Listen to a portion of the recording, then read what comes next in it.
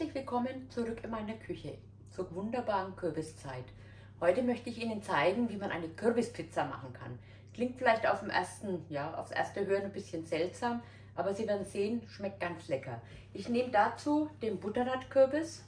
Im Vergleich dazu, Sie erinnern sich vielleicht, der Hokkaido kann mit Schale gegessen werden. Den Butternut äh, teilen wir in der Mitte auseinander und schälen ihn dann.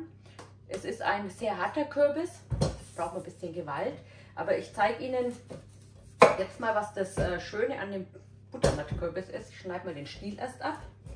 Sie haben nämlich hier in dem Stiel 100% Fruchtfleisch und haben auch unten im Körper auch nur hier wenig Kerne innen drinnen.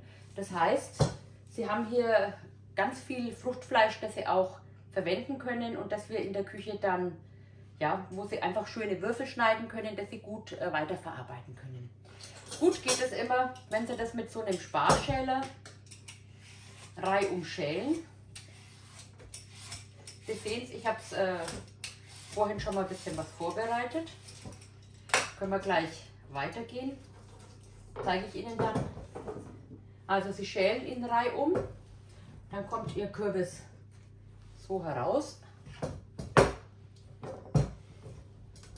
Aus dem größeren Körper unten, da kann man am besten mit einem Löffel, wenn Sie da so reingehen, kann man das Fruchtfleisch oder das weiche Fleisch mit den Kernen herausnehmen. Und auch hier sehen Sie, im Vergleich zum Hokkaido-Kürbis haben Sie hier unheimlich viel Masse, die Sie dann auch als Kürbis weiterverarbeiten können. Ich lasse das mal zur Seite liegen. Sie haben gesehen, wie man es zerteilt. Und wir gehen mal hier weiter. Für unseren Kürbis habe ich jetzt äh, geschält und in Spalten geschnitten. Ich schneide die Spalten jetzt in, in Würfel. Wir brauchen für unsere Kürbispizza noch eine Zwiebel und Knoblauch dazu, denn wir kochen jetzt aus dem Kürbis ähnlich äh, wie für die Pizza Margarita einen Sugo, aber keinen Sugo aus Tomaten, sondern einen Sugo aus Kürbis. Das wird, wenn es äh, geschnitten ist, am Herd angebraten in ein bisschen Olivenöl und dann wird es ja, circa 20 Minuten gekocht oder geschmort, besser gesagt, bis, es, bis der Kürbis weich ist und bis er sich aufstreichen lässt auf den Hefeteig. Wie für eine normale andere Pizza auch, bereiten wir einen Hefeteig zu.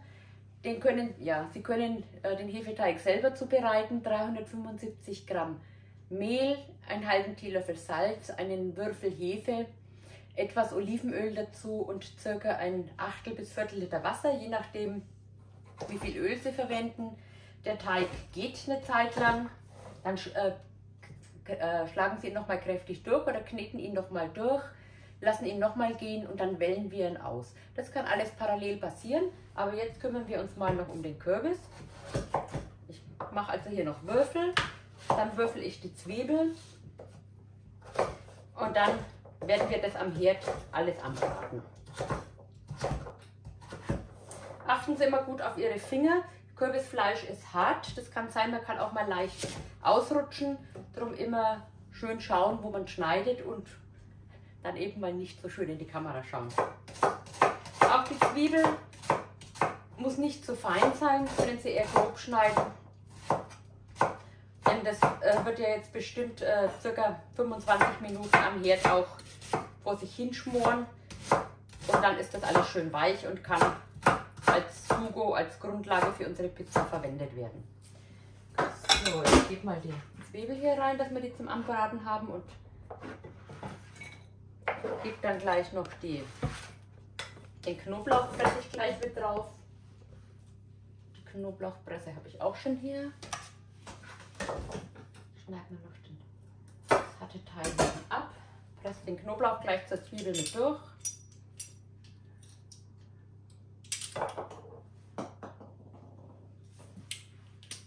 Ich hoffe, das passiert Ihnen zu Hause auch und nicht nur mir.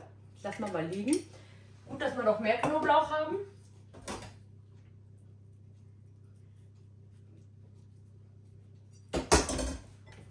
Wir haben auch schon ohne Schale, äh, mit Schale durchgepresst. Das ist jetzt aber so großer, frischer Knoblauch, da habe ich immer das Problem, dass sich da die Schale schlecht pressen lässt. So, hier haben wir den Knoblauch drinnen und die Zwiebel. Hier haben wir den Kürbis. Ein bisschen kann ich noch schneiden dazu.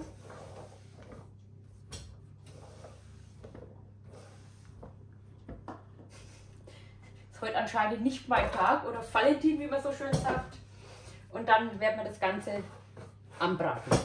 Aber erst schneide ich noch ein bisschen, dass es so, ja, circa ein, ein Pfund an Kürbisfleisch haben, also 500 Gramm dass sie für eine Pizza haben. Übrigens äh, eignet sich dieser Sugo auch hervorragend zum Eingefrieren. Das heißt, wenn Sie ja, so einen gelben Zentner haben, so einen Riesenkürbis und Sie sagen, Sie möchten da mehr machen auf davon, äh, machen Sie einen großen Topf-Sugo oder auf zwei oder dreimal, gefrieren das portionsweise ein, so viel wie Sie immer für eine Pizza benötigen. Sie können es dann frisch rausnehmen, auftauen lassen, auf die Pizza aufstreichen und dann können wir die Pizza zubereiten. Jetzt braten wir das Ganze an. Ich nehme hier Olivenöl, vielleicht haben Sie auch gehört, Olivenöl soll nicht erhitzt werden, aber für kurzfristiges Anbraten äh, können Sie es ruhig mal hernehmen. Ich nehme hier zwei, zwei Esslöffel.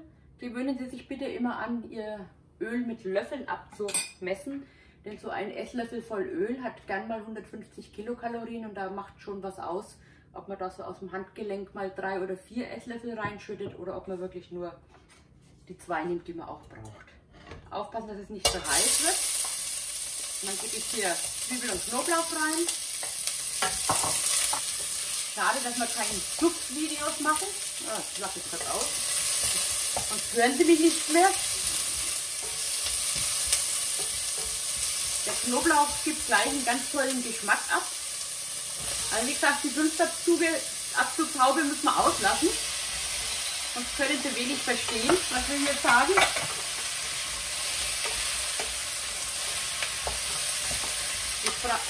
Ja, heute ist irgendwie der starke springende Kürbis. Wenn das jetzt rundherum angebraten ist, dann gieße ich ein ganz kleines bisschen Wasser an, damit es mir nicht anbrennt. Gebe einen Deckel drauf und lasst es weich dünsten. Es ist natürlich immer abhängig davon, wie lange es dünsten muss oder äh, braten muss, welchen Kürbis Sie verwenden und wie klein Sie Ihre Würfel schneiden. Die Kürbiswürfel sollten sich am Schluss eigentlich fast zu Mousse verkocht haben, damit man sie ähnlich wie ein Sugo aufstreichen kann. Wie gesagt, bisschen, jetzt haben wir hier schon überall gute Röststoffe.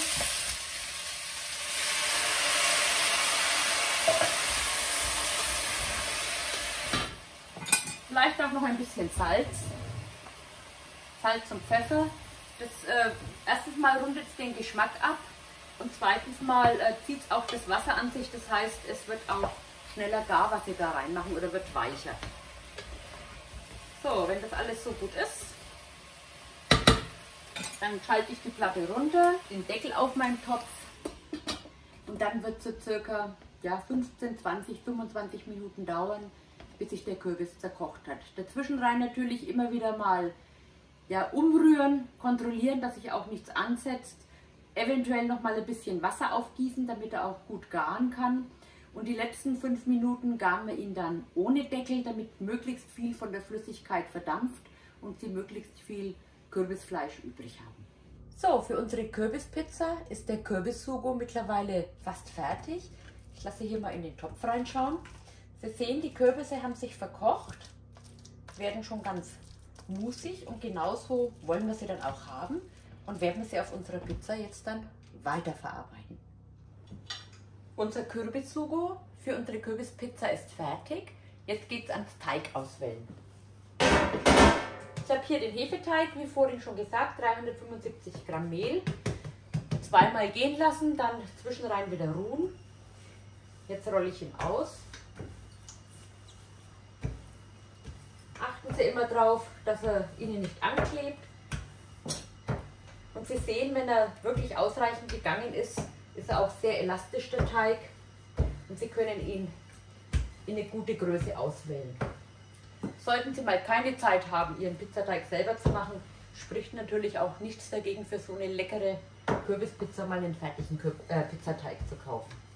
So, der schaut jetzt aber schon von der Größe her ganz gut aus. Ich gebe gerne Backpapier aufs Backblech. Dazu gebe ich Ihnen auch den Tipp, feuchten Sie Ihr Blech ein bisschen an. Dann hält Ihnen das Papier einwandfrei drauf und rollt sich nicht mehr zusammen. Jetzt müssen wir mal gucken, was da am Herd sich noch nebenbei so bewegt. Und Sie bekommen jetzt den Teig eigentlich ganz gut rüber, wenn Sie ihn halbieren und vierteln. Und dann können Sie ihn hier auf Papier legen. Und jetzt wieder rüberziehen. klappt. So. Schön in Form bringen, dass er das Papier gut ausfüllt. Dann geben wir den Kürbissugo drauf. Darf ruhig schön dick und gleichmäßig drauf sein. Es kommt ja wenig weiterer Belag nach oben drauf. Streichen Sie das. Und wir haben jetzt hier äh, weiter nichts püriert, sondern es bleibt einfach so, wie es ist. Es dürfen ruhig Kürbisstückchen dabei sein.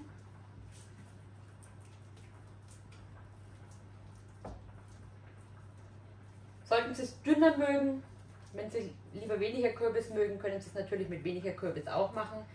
Sollten Sie von der Farbe her mehr das Dunkelorange lieben, können Sie es sehr gerne auch mit dem Hokkaido-Kürbis machen. Aber geschmacklich äh, müssen Sie es einfach mal probieren, um sich damit anzufreunden. Sieht immer noch gewöhnungsbedürftig aus, die Pizza mit Kürbis. Aber Sie werden jetzt sehen, was wir weiter noch mit drauf tun.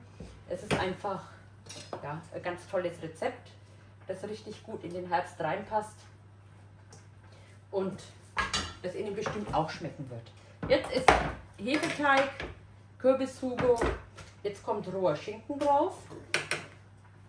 Ich schneide den immer so in, ja, in vier Teile meistens, dass man kleinere Stückchen hat. Verteile das gleichmäßig auf dem Sugo Und von daher brauchen Sie auch weiter keine großen Gewürze mehr. Sie wissen ja, in dem Sugo haben wir nicht allzu viel drinnen, denn der Schinken ist ja salzig, gibt den guten salzigen Geschmack ab.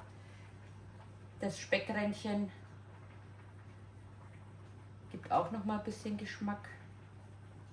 So verteilen wir das. klebt ein wenig zusammen, aber ist weiter nicht schlimm. Ist ein bisschen mehr Schinken drauf, wenn es zusammenklebt. Anscheinend mag es ja nicht, wenn es so sparsam ist.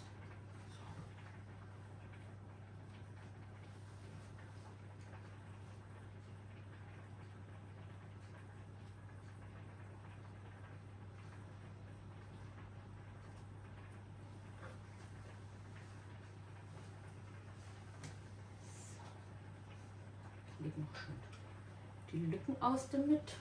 Den Rest noch verarbeiten vom Schinken. Und ähnlich wie bei dem bekannten Saltimbocca kommt jetzt natürlich sehr gut passend zum Schinken der Salbei dazu. Ich habe hier den Salbei aus dem Garten vorhin geholt und am besten können Sie ihn verteilen, wenn Sie ihn einfach so nehmen, wie er ist und klein schneiden.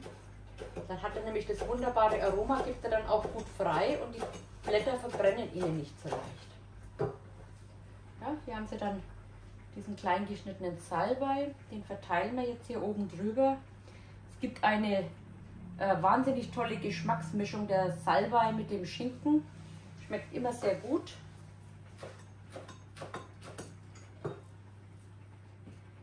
Am Schluss noch geriebener Käse oben drüber, wie bei einer ja, herkömmlichen Pizza auch. Und dann kommt das Ganze in den Ofen ungefähr 20 Minuten bei 200 Grad.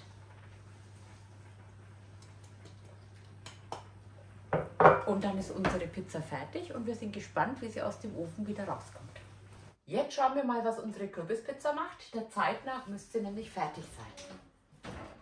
Boah, was dafür Duft rauskommt.